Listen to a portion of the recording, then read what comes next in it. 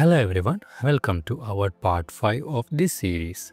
Let's start with our learning tip. This session lies into the detailed mechanism of pain modulation, wound healing and the muscle physiology as they relate to electrotherapy. Pay attention to the specific nerve fibers involved in pain transmission and how different electrical currents target them. Now let's move to question number 101. Which type of nerve fiber is primarily stimulated by conventional TENS to achieve pain relief according to the gate control theory? Option A, A delta fibers. Option B, C fibers. Option C, A beta fibers. Option D, motor nerve fibers. And the answer is option C, A beta fibers. Now let's move to question number 102. The primary mechanism by which low frequency TENS, that's acupuncture like TENS, produce analgesia is through the activation of Option A local nerve blocks. Option B endogenous opioid system. Option C muscle spindle. Option D Golgi tendon organs. And answer is Option B endogenous opioid system. Now let's move to question number 103. For wound healing, high volt pulsed current, that's HPVC, is particularly effective due to its ability to Option A induce strong muscle contraction for improved circulation. Option B create significant thermal effect to enhance tissue repair. Option C mechanically debride the wound. Option D influence cell migration and, and increase cell permeability. And answer is Option D influence cell migration and increase cell permeability. Now let's move to question number 104. When using Russian current for muscle strengthening, the burst mode is essential because Option A, it prevents accommodation of sensory nerve. Option B, it allows deeper penetration of current. Option C, it grooves medium frequency pulse into burst, making the stimulation more comfortable and effective for motor unit recruitment. Option D, it delivers only subsensory stimulation. And the answer is Option C, it grows medium frequency pulse into bursts and making stimulation more comfortable, effective for motor unit recruitment. Now let's move to question number 105. Which of the following is recognized physiological effect of therapeutic heat? Option A, increased extensibility of collagen tissues. Option B, vasoconstriction. Option C, decreased metabolic rate. Option D, decreased nerve conduction velocity. And answer is Option A, increased extensibility of collagen tissue. Now let's move to question number 106. For pain management in a patient with a non-history of seizures, what is the crucial contraindication or precaution for electrotherapy application?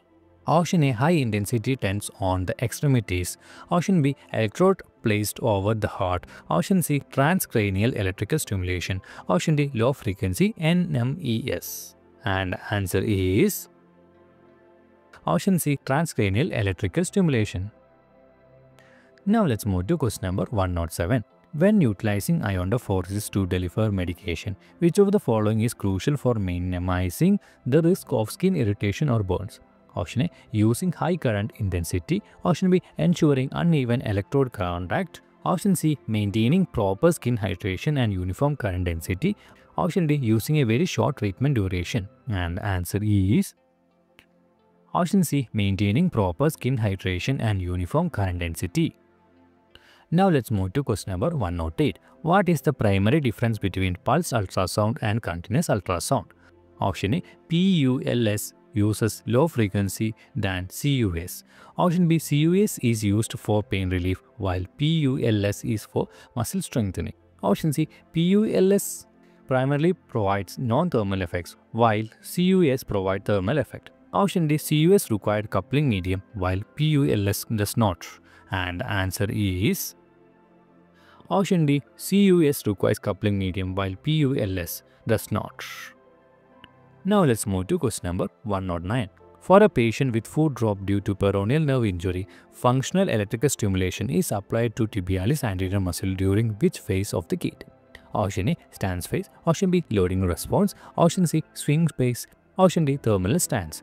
And answer E is Option D. Terminal stance.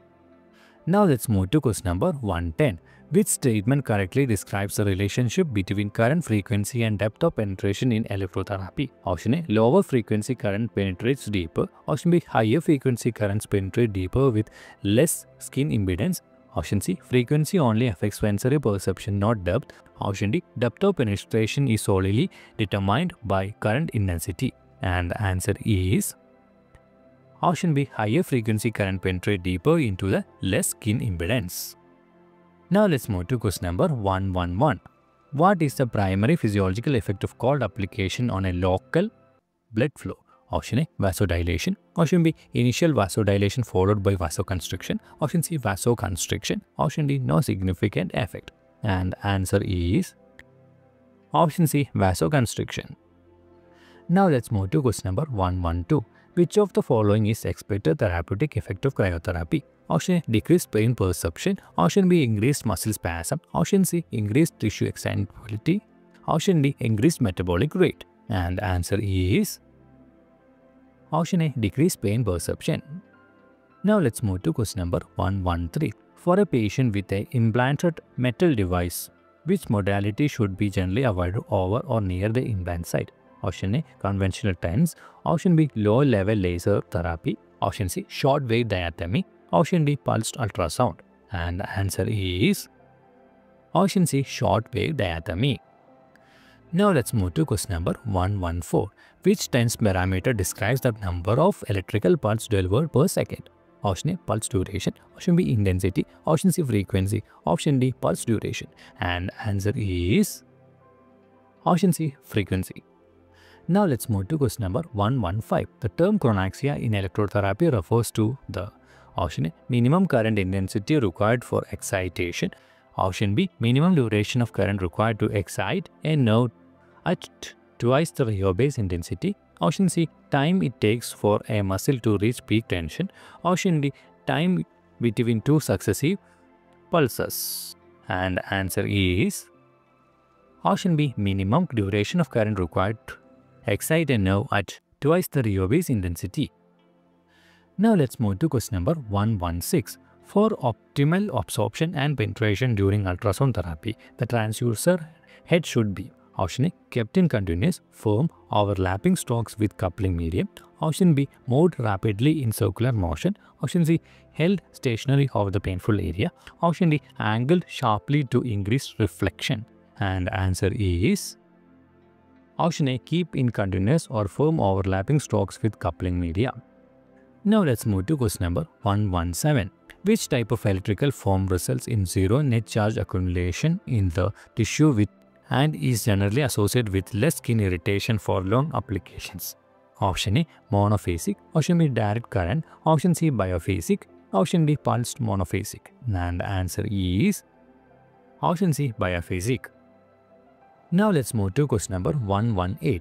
For a patient with chronic muscle spasm, applying therapeutic heat helps by Option A. Increasing the muscle spindle sensitivity. Option B. Decreasing blood flow to the muscle. Option C. Directly stimulating muscle contraction. Option D. Increasing muscle extensibility and promoting relaxation. And answer is Option D. Increasing muscle extensibility and promoting relaxation. Now let's move to question number 119. Which of the following is an indication for the use of iontophoresis? Option A. Systemic infection. Option B. Acute bleeding. Option C. Localized inflammatory conditions. Option D. Open wound. And answer E is Option C. Localized inflammatory conditions.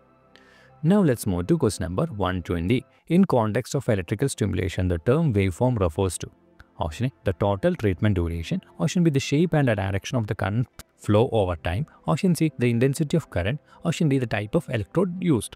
And answer is Option B. The shape and direction of current flows over time.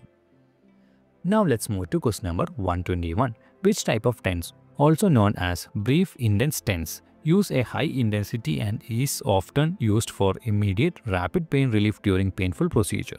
Option A. Noxious TENS. Option B. Acupuncture-like TENS. Option C. Conventional TENS. Option D. Burst TENS. And the answer is Option A. Noxious TENS.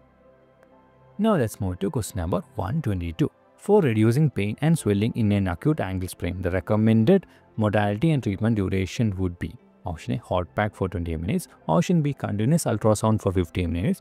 Option C. Ice pack for 15 to 20 minutes. Option D. Short wave diathermy for 30 minutes. And the answer is Option C. Ice pack for 15 to 20 minutes.